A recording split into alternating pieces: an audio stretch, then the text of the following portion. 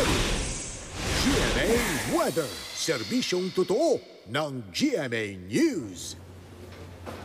Kahit walang bagyo, patuloy na nagpapaulan sa ilang bahagi ng bansa ang amihan at easterlies o hangin galing sa Pacific Ocean. Narito ang report.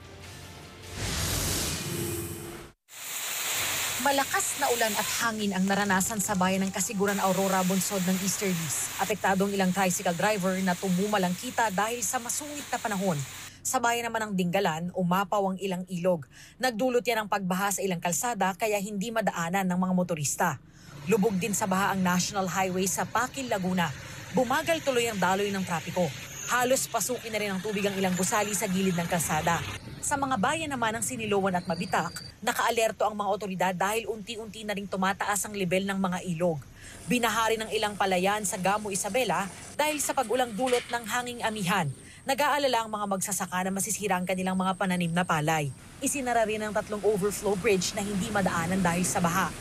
Landslide at baha naman ang naranasan sa ilang bahagi ng San Teodoro Oriental, Mindoro. May mga kalsadang nagmistulang ilog. Mayroon ding kalsada na nawasak. May mga nagtumbahan ding puno at poste. Binahari ng bayan ng Bako kung saan may anim na individual na nasagip mula sa isang barangay. Darlene Kai, GMA News.